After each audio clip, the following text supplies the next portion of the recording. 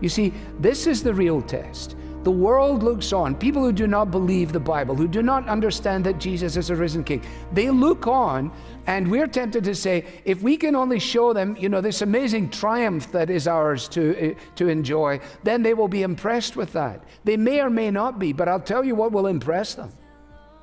Is when, in the experience of our own deep seated despondency, that doesn't seem to be mitigated by time, that doesn't seem to be altering as we progress, that we're able, still in that situation, to discover that God is teaching us now to trust Him, not with the lights on, but with the lights off.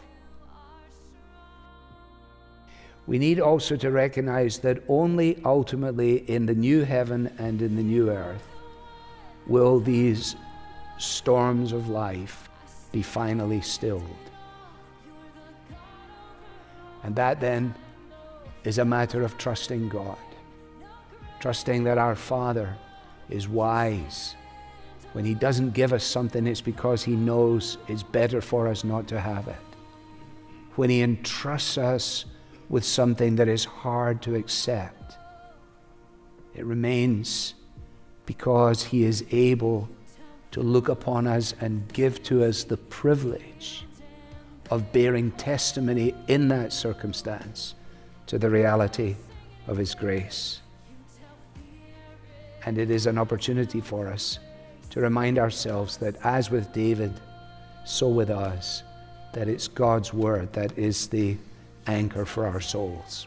The illustration is that as a boy in Scotland, uh, we would go camping with a, a, youth organization. And on one occasion, we were camping up in the north uh, east of uh, Scotland. And uh, we went on a day trip, leaving our tented village behind. We went on a day trip to Inverness. And while in Inverness, the weather deteriorated significantly as it can, and significant winds blew through, so that by the time we arrived back at the campsite, a number of the tents had been, had been blown away, some of them actually over the edge of the cliff. Because the tents that blew away had not been fastened into solid ground.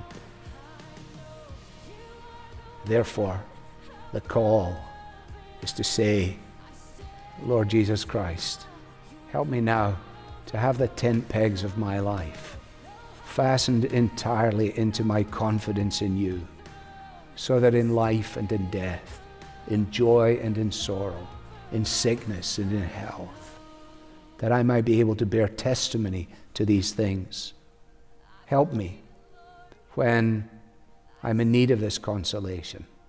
Help me not to just be a nuisance to everyone around me, but to cry out to you. And come and meet with me so that I may be found trusting and rejoicing and singing.